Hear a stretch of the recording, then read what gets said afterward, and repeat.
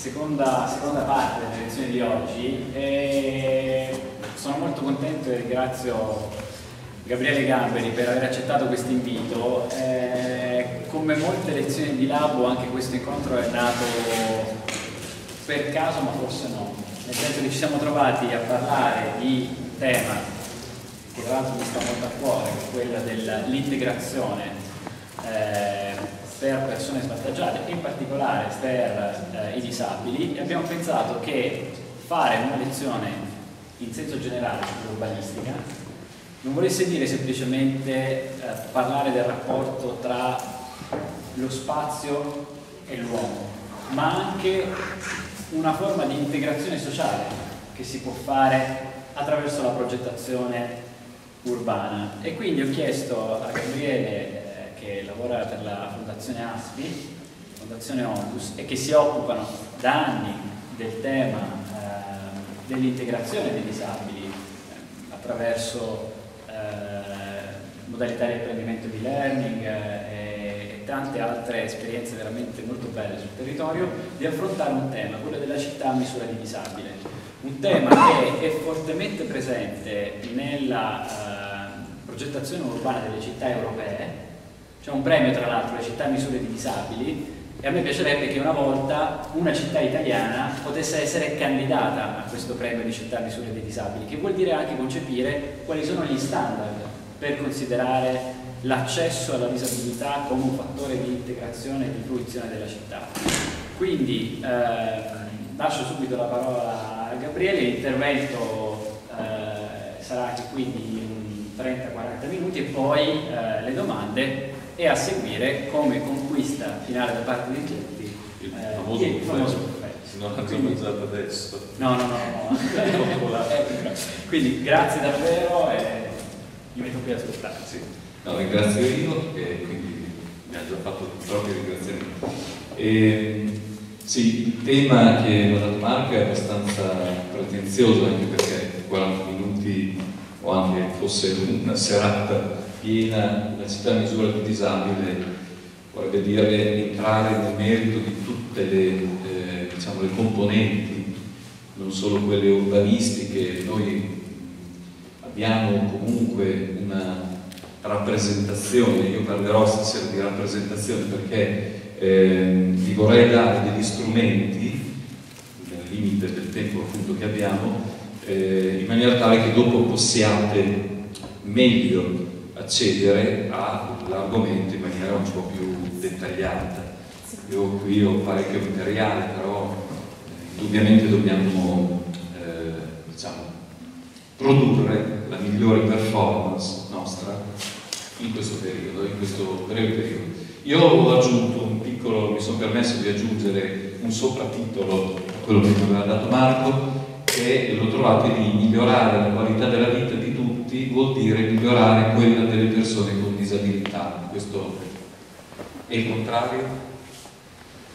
Vedremo che in questa presentazione vedremo che alla fine eh, cambieremo un po' il nostro paradigma, quello a cui siamo abituati eh, e, e, andremo a, vedere anche quali sono le condizioni che ci, che ci portano a questo cambiamento possibile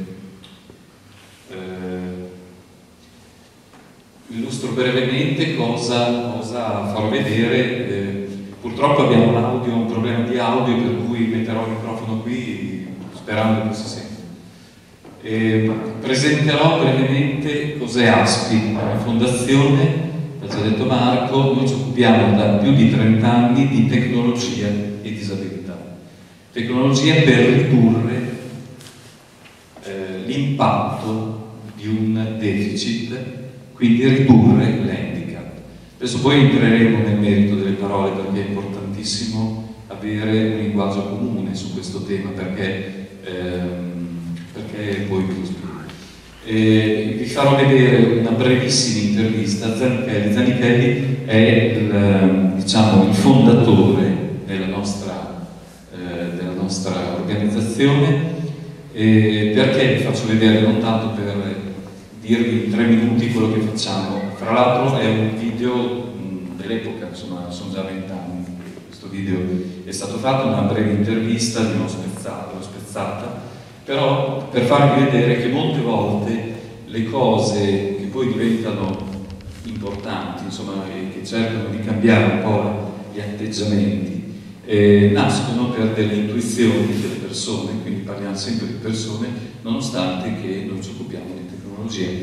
Quindi vi farò vedere qual è stato il, il momento, diciamo, iniziale della nostra avventura, eh, ma perché mi serve poi per introdurre eh, questo che troviamo verso la fine. Eh, mi avvarrò di un eh, video, adesso questo durerebbe un po' di più, 12 minuti, non so se ce la facciamo a vedercelo tutto, soprattutto per l'audio. Eh, la storia della disabilità, la disabilità è una storia non eh, solo recente, diciamo avuto degli alti e bassi la rappresentazione della disabilità. Rappresentazione della dis disabilità vuol dire eh, come la società rispetto a una persona che apparentemente ha un corpo che non funziona eh, si comporta quindi cercheremo di vederlo. Il cambiamento di paradigma eh, ci, ci, porta alla qualità. Eh, Com'è adesso la rappresentazione sulla di disabilità? Io vi farò un brevissimo giochino che facciamo così a video, eh, nel senso che vi chiederò a voi un attimo di partecipazione. Vi farò vedere eh, una breve presentazione sulle parole che fanno la differenza vi farò vedere un video, il potere delle parole, per fortuna qui non c'è audio, per cui c'è il sottotitolo, lo capiremo tutti. Eh, presentazione, ecco, vi introdurrò ai fondamenti dell'ICF, che è la classificazione con cui ora si classifica e si eh, non valuta, ma si classifica lo stato di salute di una persona e quindi anche la disabilità.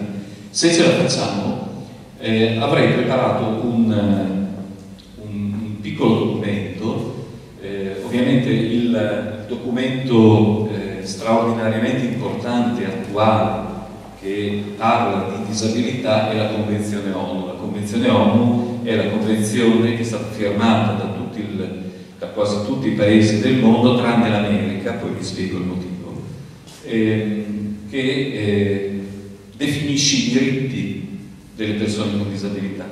Una volta che però è stata firmata vuole dire che le politiche delle amministrazioni, degli enti locali, delle regioni, delle, degli stati, dei paesi dovrebbero eh, non più parlare di disabilità, ma mettere le politiche della disabilità nel mainstream così, cosiddetto, cioè insomma, il fiume principale della politica dovrebbe anche accogliere questi affluenti che,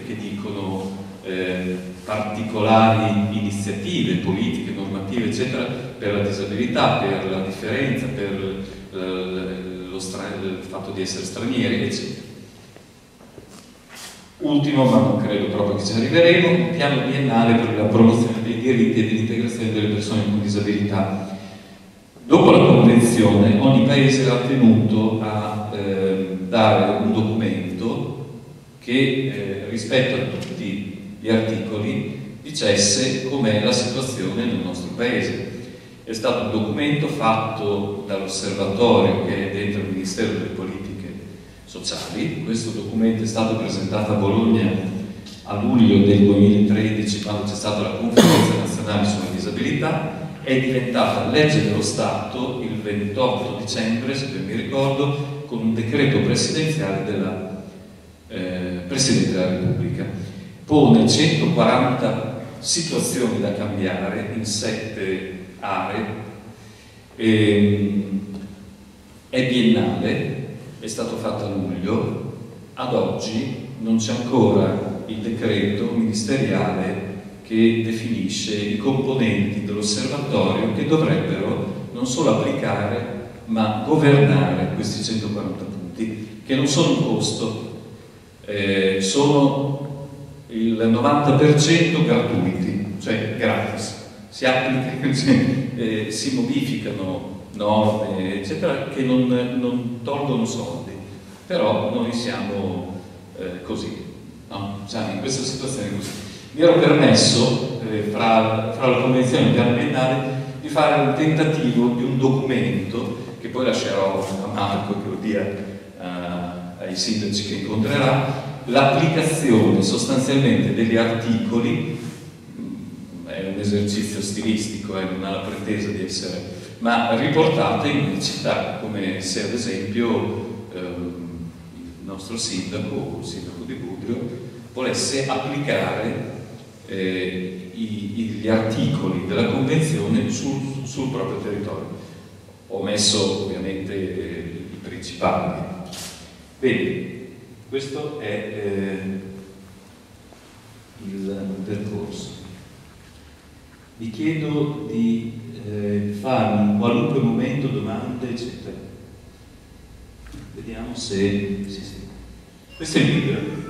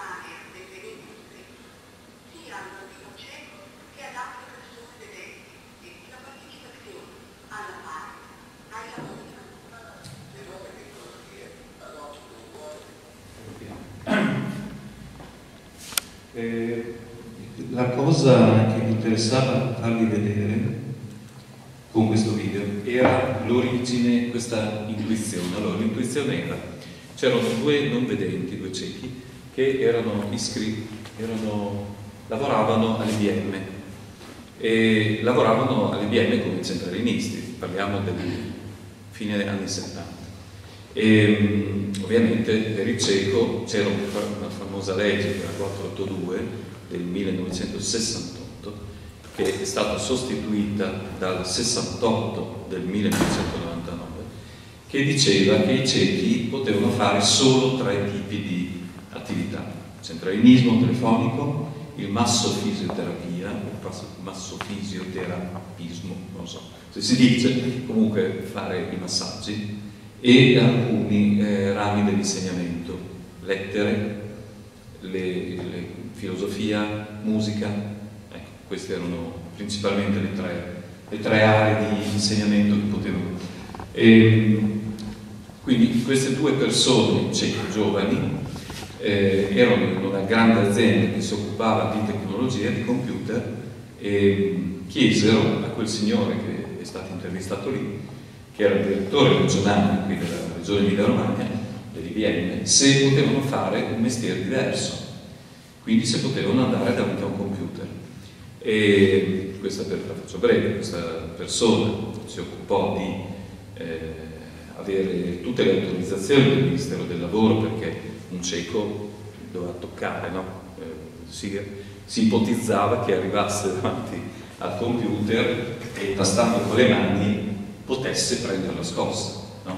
Quindi fecero eh, alcune verifiche, verificarono che non c'era questo problema, ehm, fecero un albo provvisorio dei programmatori ciechi e noi iniziamo nel 1980 a fare a Bologna, presso il Cavazza, eh, l'Istituto Cavazza dei Ciechi, il primo corso a livello mondiale, perché era la prima volta nel mondo che si faceva, ciechi che impararono ad usare il computer. Eh, perché l'Istituto dei Ciechi? Eh, ed era questo che mi interessava. Perché ehm, l'Istituto dei Ciechi nel 77 fu chiuso.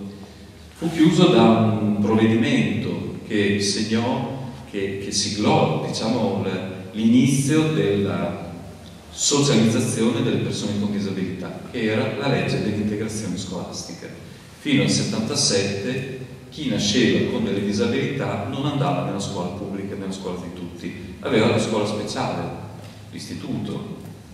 Eh, l'istituto Cavazza aveva questa funzione di accogliere persone cieche, aveva gli assistenti, già faceva un'operazione di inserimento nella scuola, eh, se, se, voi siete di Bologna, del Galvani, l'istituto magistrale, che erano appunto le, diciamo, gli sbocchi di insegnamento più facili no, per le persone cieche, e, eh, però era all'avanguardia.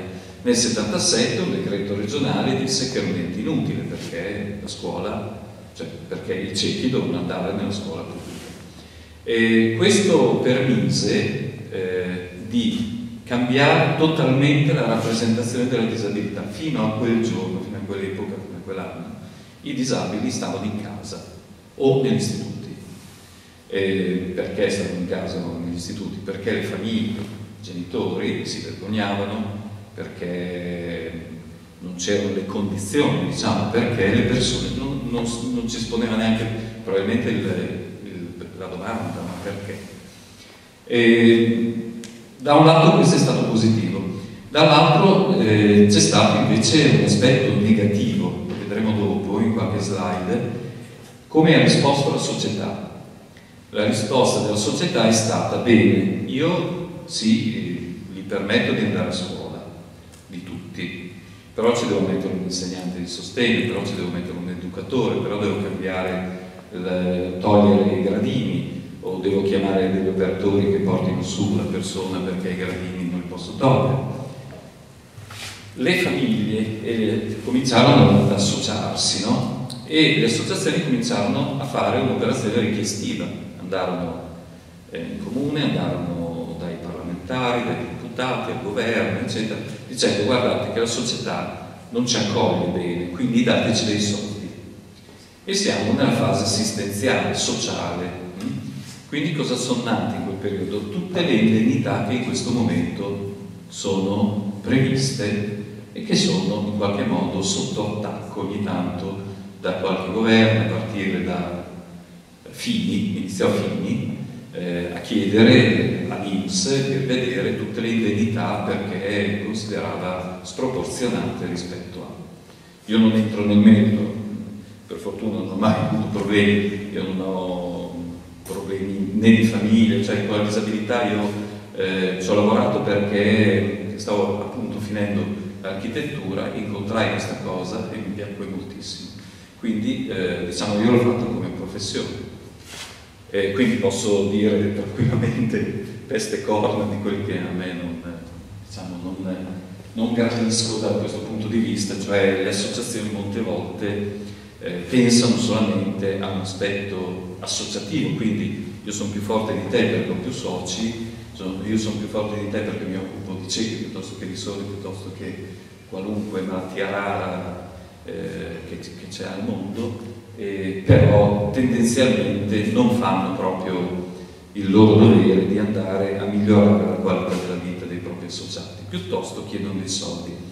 Ecco, questa cosa qui si, eh, si quadra perfettamente nel ragionamento che faceva anche prima eh, di Davi, eh, nel senso che da lì è nata la giustificazione per la società, quindi per il paese, per chi lo governa, per gli progettisti, per tutti, di dire, beh vabbè, senti, io faccio il possibile, poi male che vada, vabbè, quel soldo lì prenderà quei soldi per chiamare l'interprete, per superare un problema di comunicazione, io gli do i soldi, si arrangia lui.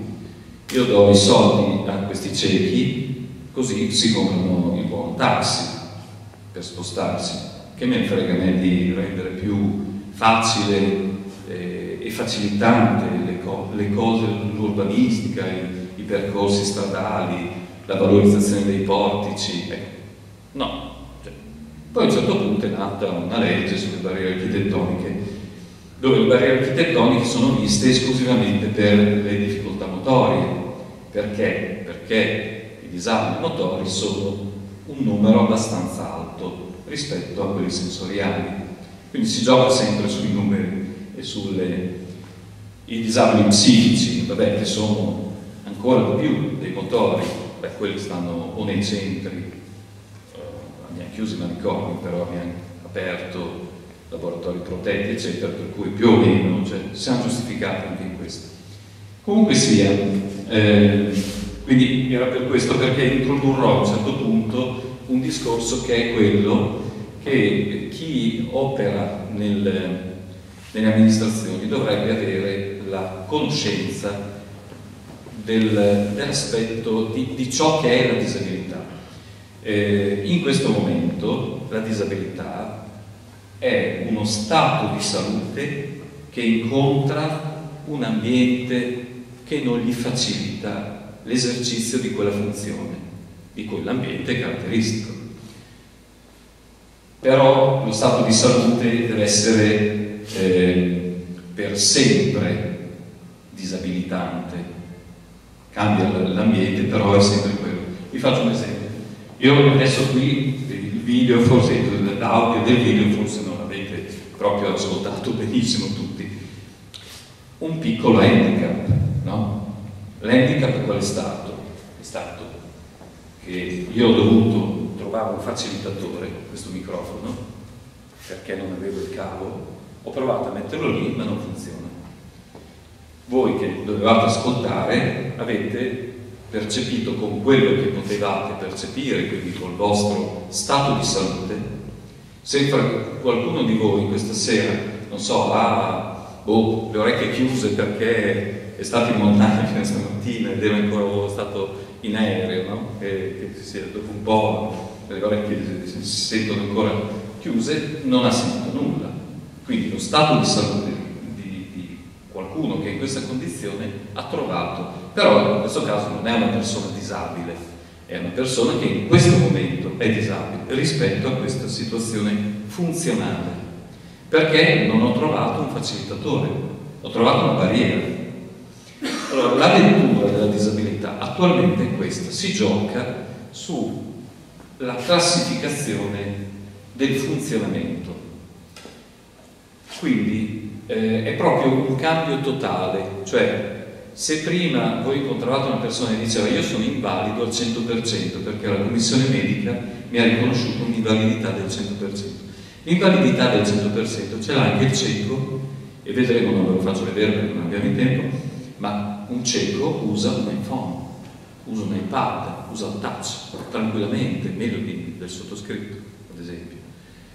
E, ehm, è invalido, sì, è invalido per la legge, 100%, però nell'uso di quell'iPhone è validissimo. Allora, l'invalidità non decide il destino funzionale della persona. Quindi ci possono essere persone con una piccola invalidità che però in un certo ambito funzionano male e quindi in quell'ambito lì noi li mettiamo a lavorare, non li mettiamo a, studiare.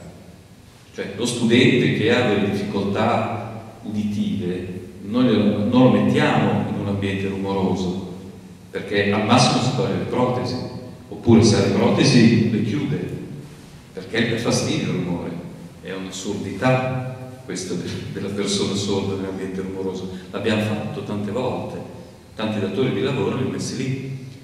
Nessuno si preoccupa di un ambiente rumoroso scolastico dove i ragazzi i bambini stanno in un ambiente che un adulto eh, eh, diciamo che ha la testa sulle spalle dice dopo dieci minuti scappa.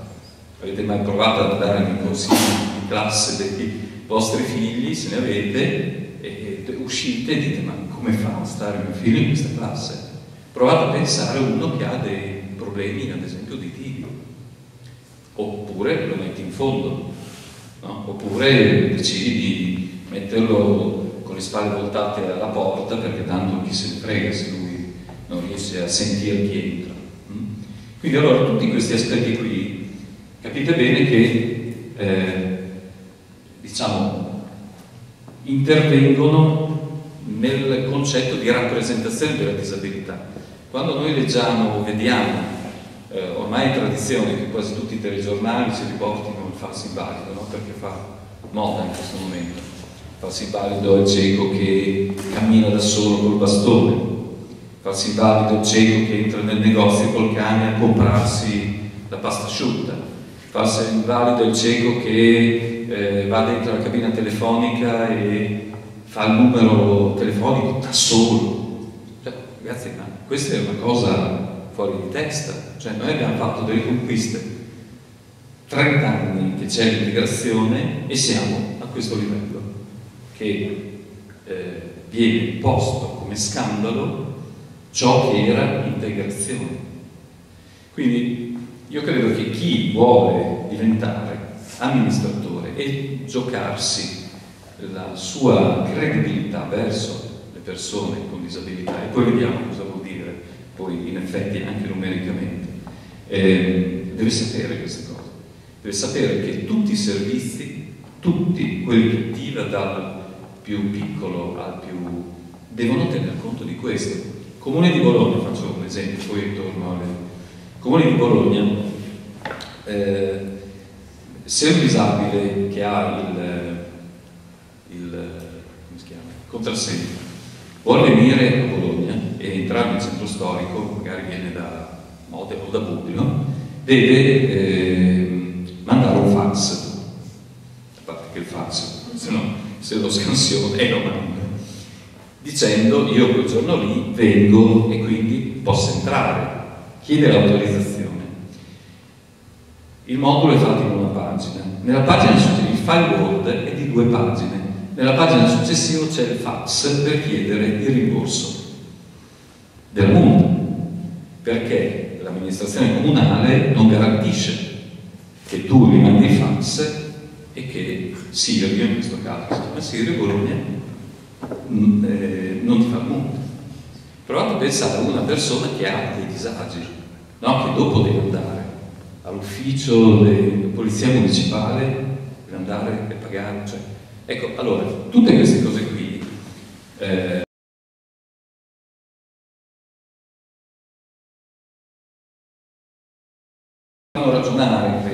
persone che affrontano, come siete voi, cioè affrontano in maniera moderna, innovativa questa, questo tema. Allora io vorrei fare brevemente, per alzata di mano, eh, minorato, vi piace come termine? No, no, per tutti. Disabilità, sì. Deficit, sì. Menomazione. No? Sì? No? No? Non per tutti? Prevalentemente no. portatore di handicap. Sì o no? No. No. Sì? A te non piace? No. Eh, a chi piace? Diversamente abile. Handicappato. No. Handicap. Così. Invalido. Non piace invece. Cioè, è previsto nelle malattie.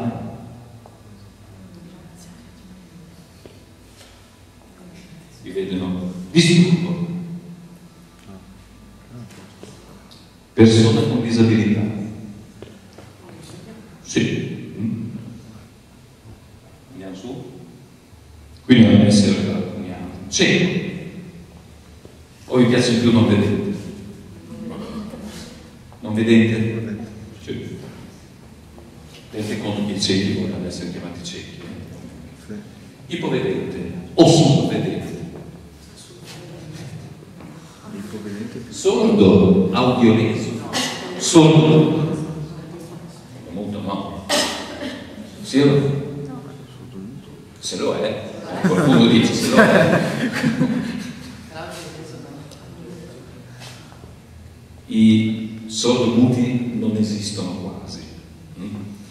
Eh, il mutismo è una cosa, la sordità è un'altra.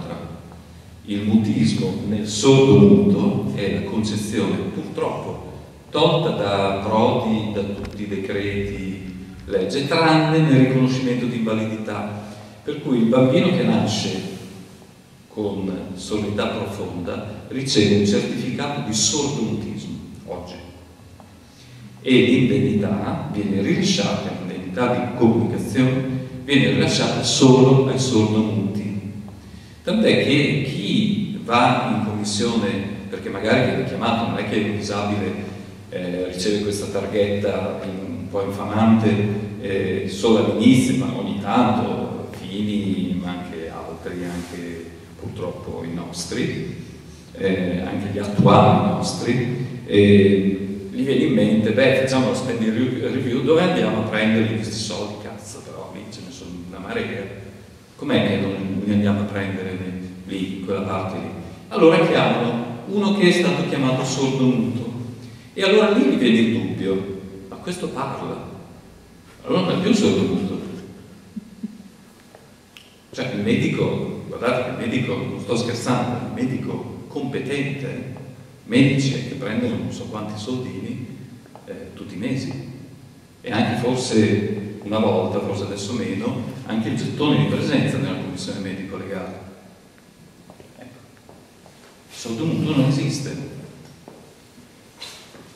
Se uno è sordo viene abilitato al linguaggio, ha tutte le caratteristiche apprendere la lingua. Se ciascuno di noi, ognuno di noi, se noi fossimo nati dentro una caverna, il linguaggio non è insito nel, non è genetico il linguaggio, perché noi parliamo in italiano, bolognese e un altro parla giapponese, perché nasce in Giappone, il linguaggio è sociale come tipo di approccio. Quindi uno nella caverna, infatti ci sono stati dei casi no, di persone trovate, erano nate nella caverna, rimaste nella caverna e non parlavano, erano muti.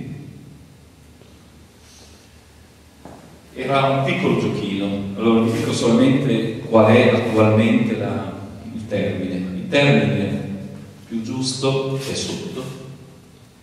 Persone con disabilità per identificare una persona.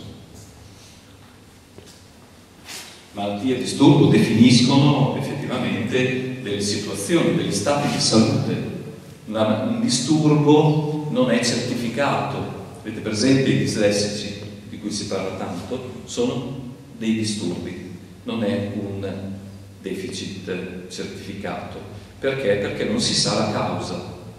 Quindi fino a quando non si sa la causa, eh, se è una causa eh, neurologica, prima o poi, poi si scoprirà, eh, avessimo degli- delle modalità di accertamento migliori del TAC, e già le TAC ci hanno portato molte risposte, eh, forse troveremo da qualche parte nel cervello qualcosa che non funziona bene.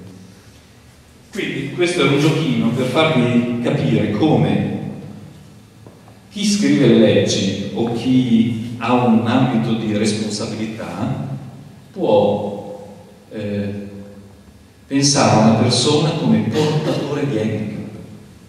Guardate che molte volte lo si sente dire, anche proprio nelle comunicazioni ufficiali, formali, eccetera, portatore di handicap, dove lo porta.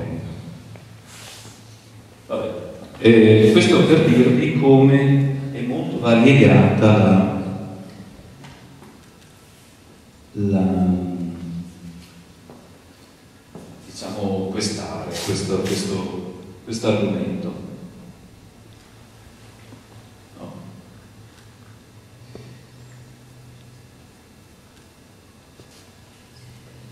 Voi mi direte, ma eh, cosa c'entra con l'urbanistica o con eh, la progettazione universale, una città per... Ma se i nostri amministratori pensano a un portatore di handicap, non gli verrà mai in mente che i suoi servizi non sono accessibili.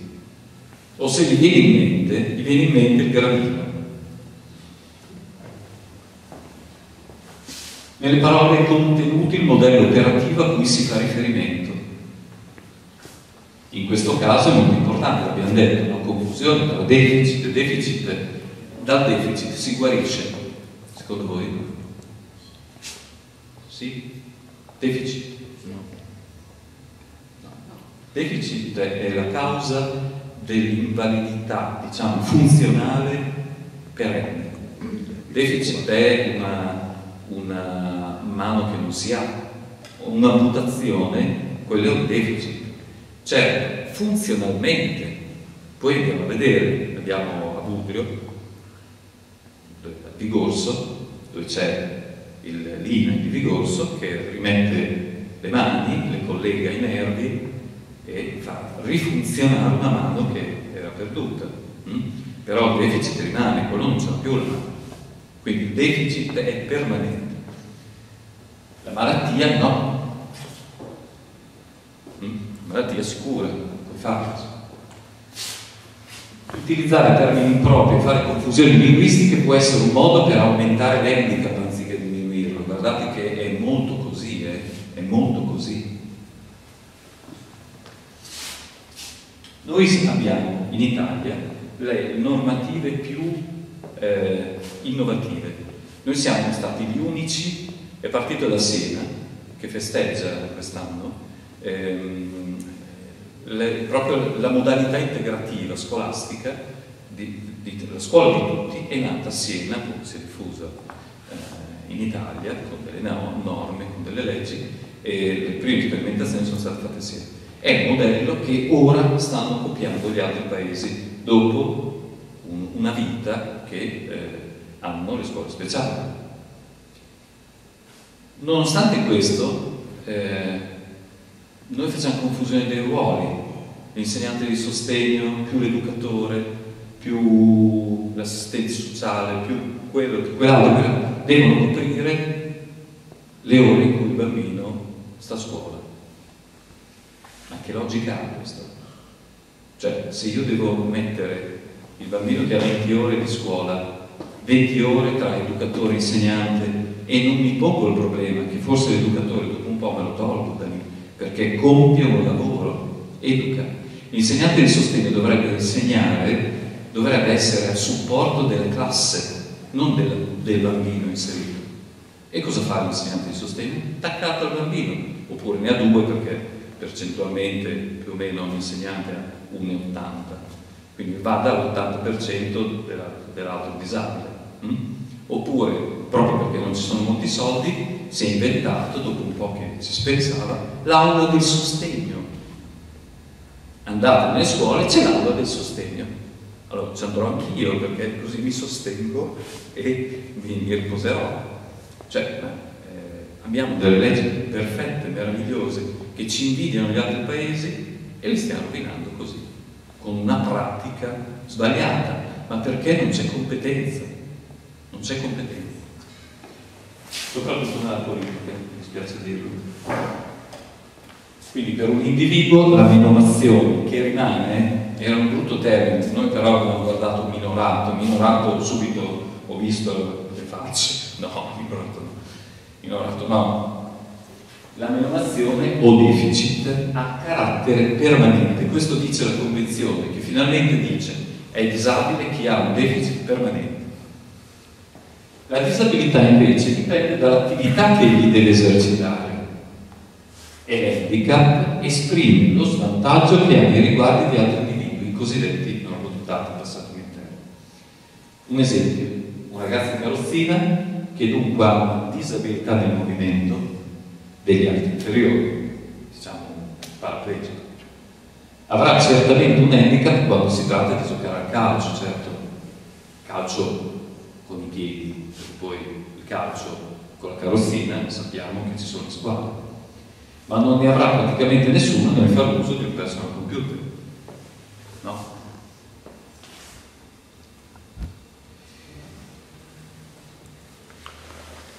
Quindi l'individuo è relativamente handicappato, possiamo dire, cioè l'handicap è un fatto relativo e non assoluto, al contrario di ciò che si può dire per i deficit. Abbiamo un esempio eclatante proprio Gorsa, ad esempio, un'amputazione, sapete che Zanardi, no, che è diventato un testimonio di questo centro, eh, è arrivato a linea di Vigorso senza due gambe.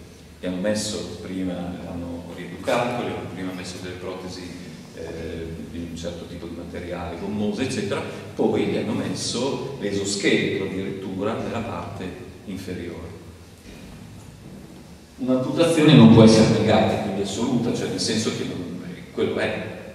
Quindi lo svantaggio invece è handicap è invece relativo alle condizioni di vita e di lavoro. Allora, Zanardi, nel momento che va all'amputazione, non poteva più fare il suo mestiere, no?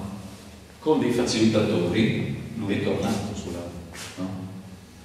In una parola della realtà in cui l'individuo amputato è. Ce n'è solo uno o poco di più di Zanardi Comunque, quindi l'ente è dunque un incontro fra individuo e situazione. Quindi eh, scordatevi che l'invalidità definisca la disabilità della persona e che una persona funziona negli ambienti, nel contesto, nello stesso modo sempre. Ce ne accorgiamo noi. Siamo funzionanti meglio in un certo ambiente più per noi eh, più naturale, c'è, gente che non può stare al sole, no?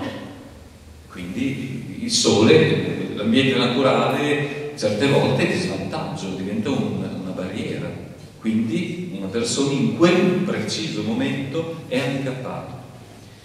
La classificazione ICF, cioè quella che noi usiamo da una decina d'anni, è proprio questo, cioè definire, classificare lo, il funzionamento di una persona te, con dei codici, ovviamente, che sono dei codici che però parlano italiano, cioè c'è un codice che dice eh, questa situazione.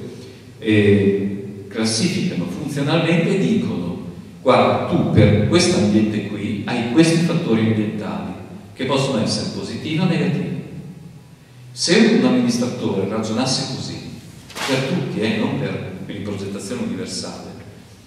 Eh, probabilmente non riuscirebbe a fare per tutti i, la facilitazione, ma creerebbe forse dei facilitatori che in certi modi e in certi contesti sono delle barriere. Esempio classico, una scala, perché è una barriera secondo voi? Per, per chi è un, un marciapiede, un, perché chi è che diventa una scala per uno in carrozzina, no? Ok, per chi può diventare un facilitatore? Per un cieco.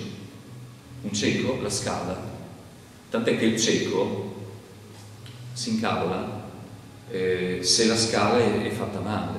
Non so chi frequenta il comune di Bologna, lì nella piazza Libero Paradisus, quella gradinata che va giù è tremenda se ci fate caso, è tremenda, non corrisponde ai nostri criteri di alzata e pedata. È stata fatta da un progettista che non capiva niente. pieno probabilmente di riconoscimenti, ma ha sbagliato. Ha sbagliato. Mm, Quella situazione lì è invalidante per chiunque, per il giovane, ma per il vecchio.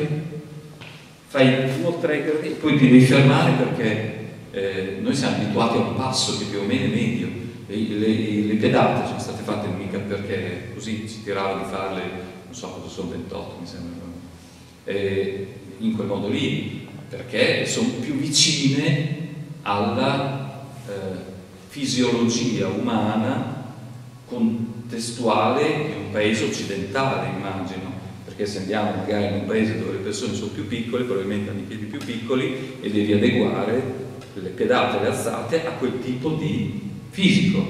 mm? Ecco, quello ha, non so, non so dove sia andato a prendere quei dati, solo per bellezza, no? Ecco, era così, c'era una prospettiva organicistica nel 1980 e nel 2001 è nata questa prospettiva che è multidimensionale.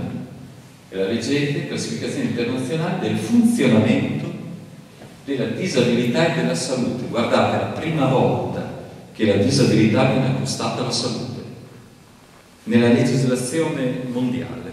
È la prima volta, in Italia soprattutto, nonostante che appunto, ripeto, noi siamo molto innovativi ma prendiamo delle gran multe dall'Europa.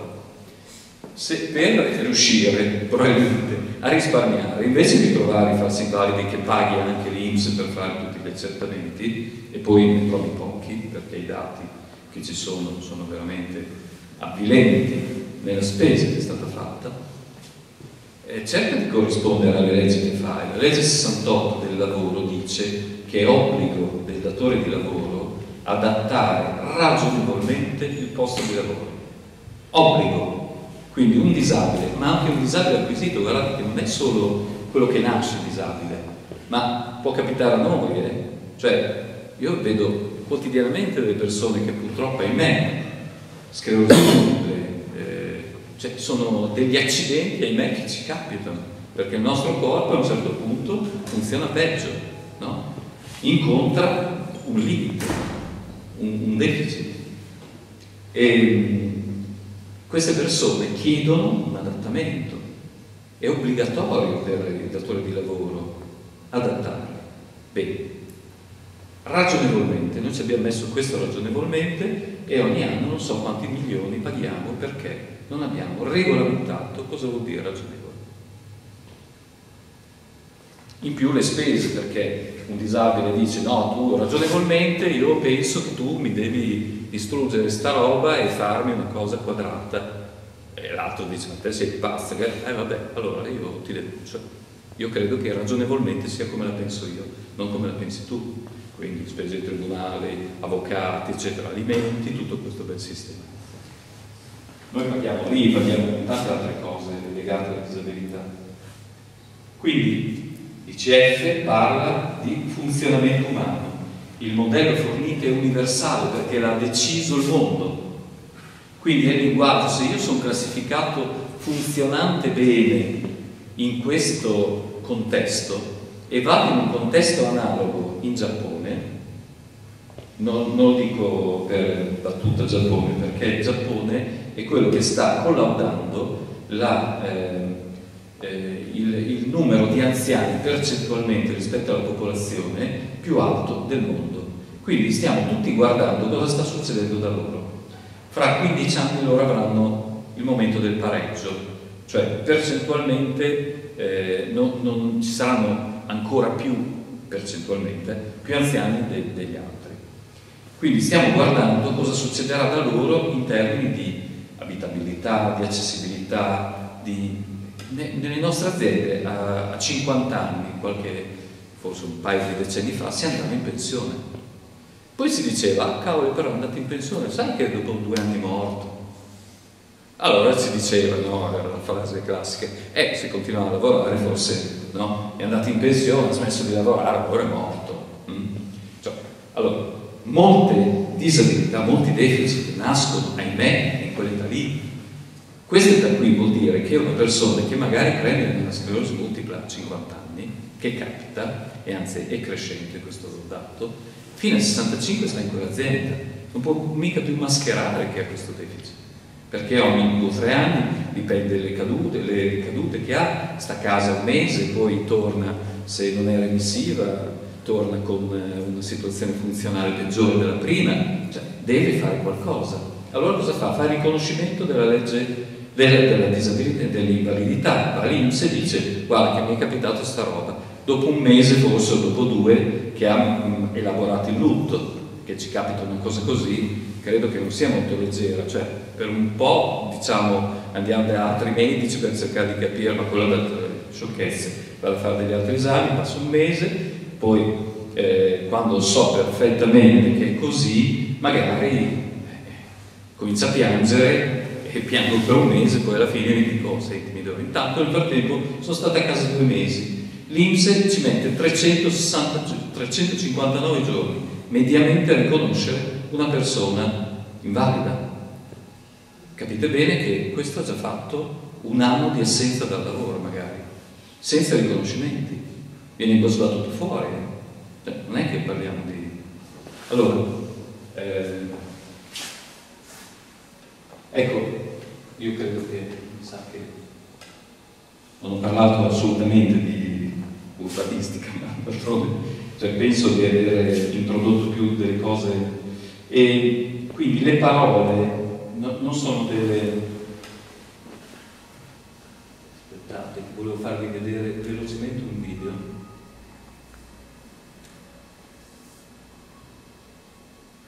le parole non sono marginali a questo contesto eh?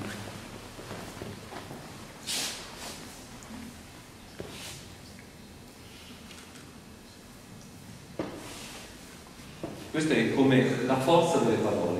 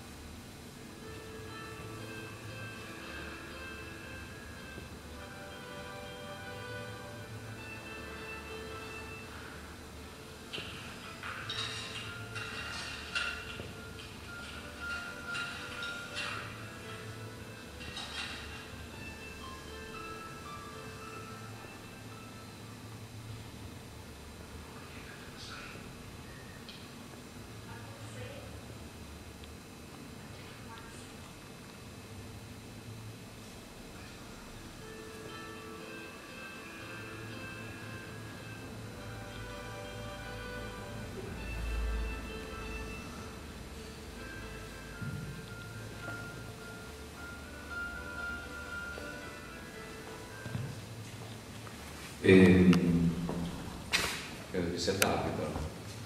Se avete delle domande per quello che sono riuscito a farvi vedere.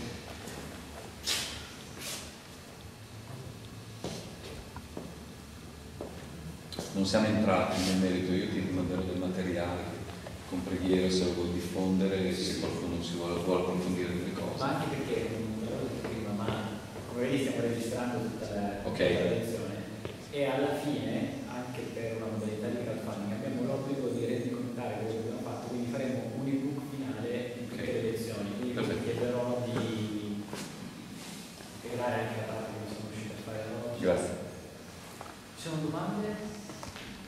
Qual è il primo passo secondo lei verso una città, diciamo, in passi di termini, a portata di disabile? Eh, io credo che sia la formazione delle persone che decidono.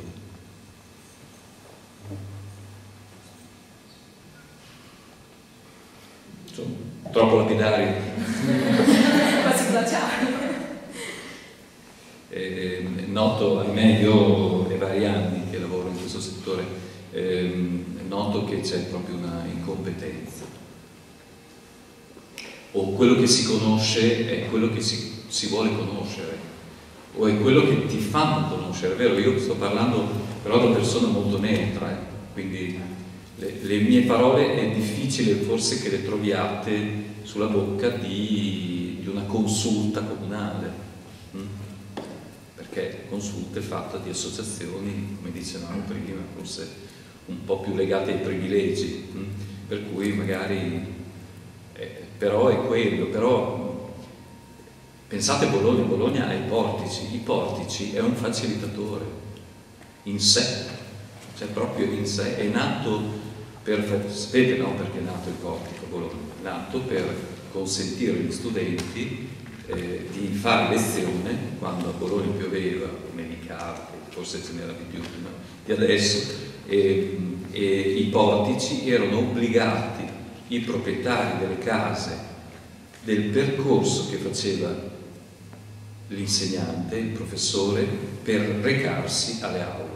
A un certo punto le aule non potevano più contenere gli studenti, parliamo del 2004, eh, e ci fu un obbligo comunale che disse chi ha proprietà sul percorso, percorso cioè, pensate che valore aveva la formazione, che, che valore poteva avere la cultura no? all'epoca.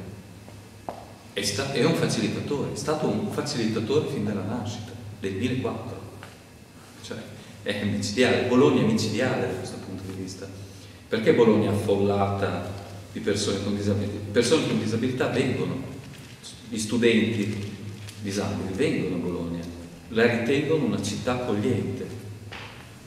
Siamo noi che non la rendiamo accogliente quando mettiamo i motorini in mezzo al marciapiede, quando non ci preoccupiamo che... Eh, però è anche vero che molte volte la tecnologia aiuta fino a un certo punto Provate a pensare, eh, gli autobus hanno il cicalino che dice, no cicalino, la voce, no? Che dice, ecco, eh, ci sono degli autisti che hanno chiesto la, eh, diciamo la, l'inidoneità al lavoro perché è stato introdotto questo, perché per obbligo del regolamento del, del traffico, insomma della, sì, insomma, della, no, testo unico, non so come si chiama, quello che definisce i criteri, le norme per guidare, eccetera, impone che un autista di un mezzo pubblico non possa indossare le cuffie. Quindi questi tutte le volte che aprono la portiera davanti sentono ripetere all'infinito per provare a pensare sei ore al giorno a sentirsi sta roba. Alcuni di loro hanno preso su di testa e hanno chiesto ai sindacati no, i sindacati hanno detto, beh, ti diamo un vantaggio, penso 7-8 euro al mese. Poi a questo punto quelli si sono ribellati e hanno detto no, 7-8 euro al mese, mi metto le cuffie. Infatti adesso li vedete, no? Vedete mai un autista che non ha la cuffia? Una volta era impossibile parlare all'autista, c'era tanto di cartello? Oltre a sputare per terra, perché erano i famosi cartelli degli autobus, vietato sputare per terra e di fianco vietato parlare all'autista. Per fortuna non ci sono tutte e due, diciamo. Purtroppo si sputano. Eh?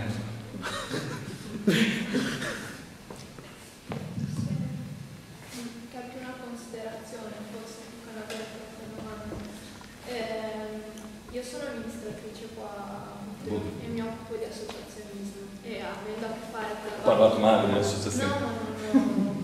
E avendo a che fare con un esempio concreto mi sono resa conto di quello che invece può essere veramente una banalmente, un discorso molto banale, però una barriera architettonica, fondamentalmente non avendo mai avuto io probabil, probabil, eh, problematiche Certo. eh, che si sono protratte a lungo nel tempo, non mi sono mai accorta effettivamente di quelli che potevano essere degli impedimenti ad un accesso qualunque. Una ragazza che lavora alla banca del tempo è in carrozzina e ha offerto la sua disponibilità a tenere aperta la banca del tempo. Ed è sorto il problema quando siamo andati a vedere il luogo fisico in cui questa ragazza doveva entrare da sola, no. che è una, essendo in pieno centro storico, ci sono due gradini per accedere alla sala e da lì è venuto tutto il ragionamento di creare questa pedana, essendo il palazzo poi storico, è soggetto a, certo, vincoli. a vincoli, per cui però a quel punto c'è questa barriera viene diciamo tolta da questa pedana, però la pedana qualcuno gli arriva veramente e la pedana pesa, per cui le persone devono essere due per far sì che questa pedana venga messa, perché poi dopo questa pedana deve essere tolta perché essendo su, sotto un portico Eh, certo, rischia poi di creare essere- delle esatto. problematicità con altre persone. E magari quella barriera viene in quel momento, diciamo, eliminata. Però ti rendi conto che all'interno di un paese ci sono mille barriere architettoniche, quindi magari questo era il discorso che lei voleva fare che non abbiamo avuto Io, non so io volevo, sì, Però volevo capire, cioè è una considerazione probabilmente perché ci, ci vorranno anni per riuscire ad eliminare Certo. barriere architettoniche anche visibilissime e... eh, io credo che sia impossibile. Eh, nel senso che io sono dell'idea che non, non può essere per tutti. Chi dice questa è una cosa per tutti sta dicendo una balla. Mm. In più tu fai riferimento a un paese storico. In Italia sono tutti paesi storici, tutte le città sono storiche, hanno un centro storico inaccessibile per natura proprio perché devono essere castelli, devono essere eh, stretti, devono essere con gradini, devono essere difficoltosi, devono essere barriere a magari a, a degli invasori ed è ovvio che se li teniamo così giustamente diventano barriere anche per noi, no? Quindi eh, cioè, l'approccio dovrebbe essere questo, soprattutto nei servizi. Cioè, si, si fanno dei servizi che sono inaccessibili per loro natura.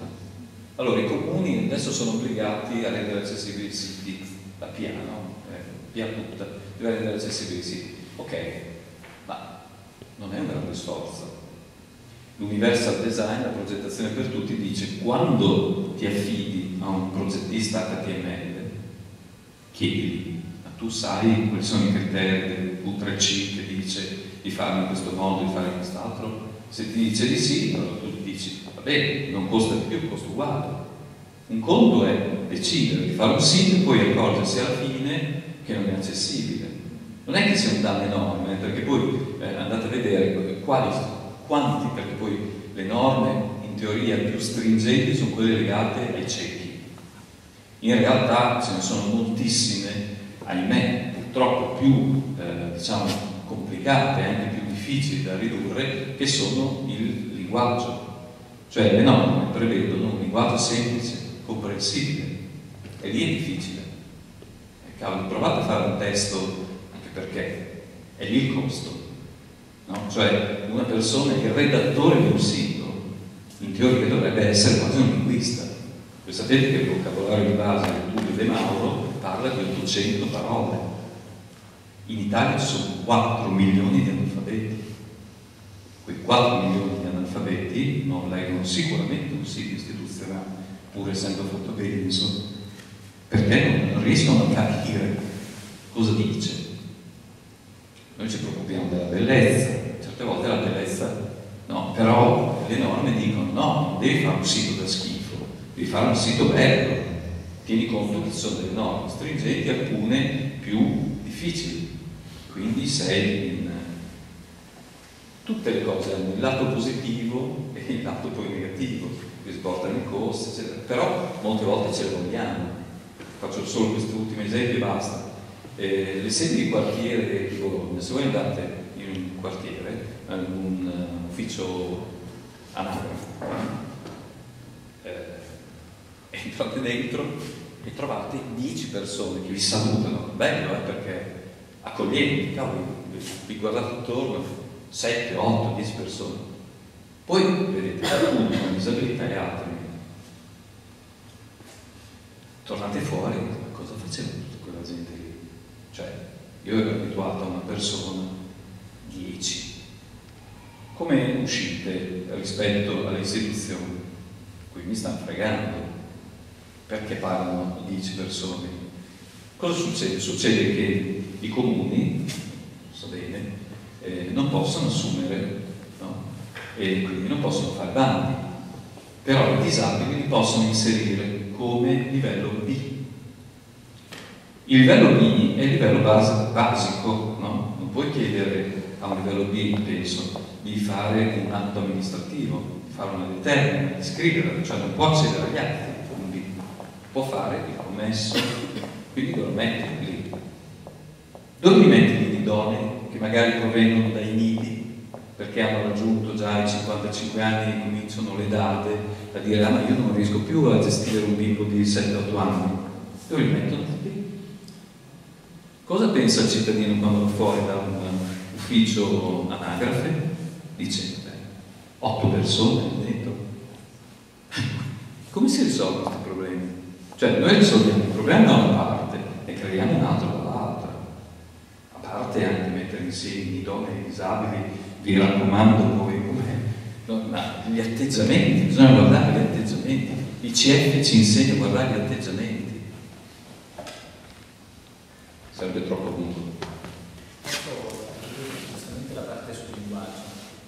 Secondo me un modo per raccontare la legislazione universale è anche dare dei, dei numeri in prospettive di sviluppo delle disabilità. Cioè, parliamo di 80 milioni di persone in Europa, il 6% della È popolazione. il terzo paese del mondo. Parliamo di un valore stimato di servizi assistiti alle persone di 30 miliardi di euro. Allora, è possibile far capire che in realtà È un mercato. è un consumatore Esatto. che se lo metti nelle condizioni anche di vivere, di partecipare anche di consumare, ha un mercato. Quando parlavamo prima delle città a misura di disabile, Berlino nel 2013 è stata eletta città a misura di disabile, ha sviluppato un turismo di questa tipologia. Allora, forse se proviamo anche comunitariamente a spiegare qual è l'opportunità del mercato dei servizi alle dell'integrazione, forse ci togliamo anche un, un retaggio culturale che abbiamo di considerare il disabile, cioè un cittadino di serie B. Allora, secondo me questo è un passaggio culturale anche Sì, il, il passaggio, il passaggio è importante perché, sì, non ve l'ho detto, attorno alla disabilità è necessario creare dei mercati, perché sennò la disabilità non... E purtroppo qual è il problema? Il problema è che siamo ancora in una configurazione assistenziale e quindi noi continuiamo a ribadire diamo dei soldi piuttosto che dare dei servizi o delle opportunità per tutti, pensando tanto eh, io non lo sono quella parte lì, quindi sono. Poi quando capita, e capita anche a persone che decidono, ah, tornano indietro, ah, allora se adesso, adesso capito, capisci prima, no? Hai ragione, eh, Expo, io sto lavorando per l'Expo, l'Expo c'è un, eh, una confusione enorme, vabbè, sappiamo, no. Il comune di Milano ha preso l'impegno di occuparsi dell'accessibilità esterna al sito. È una litigata continua in fra le associazioni, no? E eh, a noi che ci vedono fuori dalle parti, ovviamente c'è un rapporto diverso. Abbiamo provato a dare delle note mm, semplicissime. È faticoso, provate a pensare alla sicurezza. 112. In Lombardia da noi non c'è, da noi c'è il 118 per il soccorso, il, il 112 è il numero unico dell'emergenza, eh, è un obbligo europeo, anche lì stiamo pagando delle multe. Sperimentazione in Lombardia, eh, seconda regione che doveva sperimentare l'Emilia Romagna, non parte. Terza la Sicilia,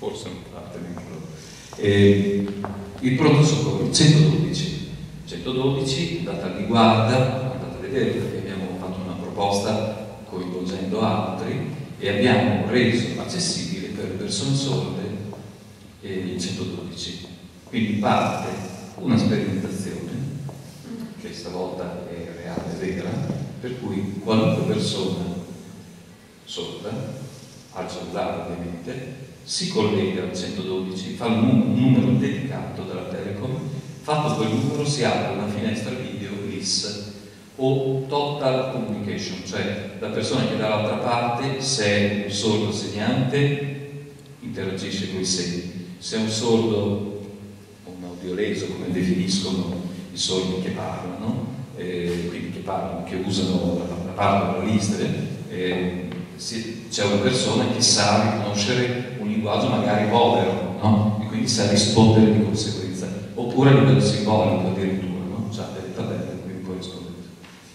Ehm, Questa cosa qui ha collegato eh, un'assicurazione di una grande impresa bolognese, cooperativa, eh, avete capito qual è, che ha associato a questo servizio un'assicurazione che costa ai suoi 10 euro l'anno, per cui queste persone, facendo sempre lo stesso numero, riescono ad attivarsi anche altri tipi di emergenze, che sono non ho il farmaco, non ho il medico, sono in Alaska, dove mi devo rivolgere.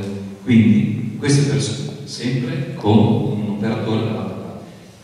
Se questa cosa non fosse stata vista nella sua totale, avremmo fatto un operatore LIS, un operatore per quello che parla male, un operatore perché quell'altra associazione avrebbe detto ma come? A loro sì, e a noi no. Ecco, capite che questo vuol dire, voi registrate sbattono fuori. Mi vengo a chiedere lavoro a tempo umano, quello farò l'amministratore, ehm, è l'approccio, è l'approccio. L'Expo loro prevedono i 20 milioni di visitatori che si ritengono di avere quasi tre con disabilità. Non hanno pensato a fare, ci sono i giochi per i bambini, cavolo, ma a medici ci sono dei giochi che costano uguale e che sono giochi che possono fare un, un bambino in calzina e un bambino non in calzina, anche assieme. Sono piattaforme uguali alle altre, sono solamente diverse nella, loro, magari nel, nel, peso che possono reggere, nel, nel, nell'apparato, diciamo. Ma sono giochi, non sono giochi che caratterizzano che quello è un gioco per la disabilità. Certo se tu ci vai a mettere il cartellino con la carrozzina, ah, vabbè, allora ci vogliamo del male, no? Però se tu fai quel piazzoli di gioco con oggetti che, che, possono essere fruiti dai disabili, ma non lo qualifichi per disabili, come i bagni, no? I bagni vediamo donne e disabili associate, perché donne e disabili, e dall'altra parte uomini, no? Eh, cioè, cavoli, ma facciamo un bagno per tutti, cosa, cosa cambia? No? Cioè, è un costo. Sono andato a vedere una struttura che ha messo, li ho contati, eh, 53 water in bagni per disabili, qualificati per disabili, sono i, i water che costano di più, hanno, forse li avete visti nei, nei, nei spesso negli ipermercati hanno sotto la, l'apertura per la doccetta, per la doccetta per fare il lavabo, insomma, e, e non c'è la doccetta, non c'è attacco per la doccetta. Quindi hanno preso un prodotto che non serve a niente, cioè è fatto, è come dire, eh, compro una Ferrari e poi la uso in città e 50 all'ora. Ho speso però per una Ferrari. Cioè, questo l'ha fatto uno che eh, ha comprato non con soldi pubblici per fortuna, ma...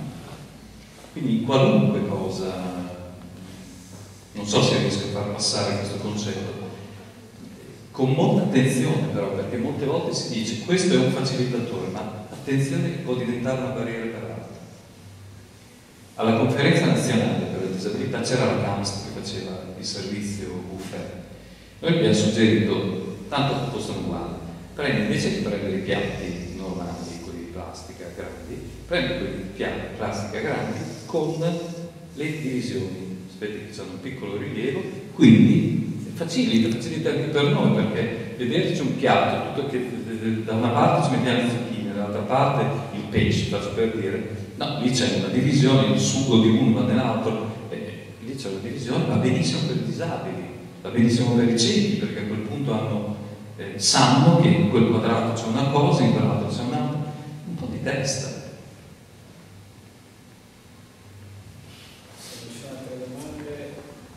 Суда да.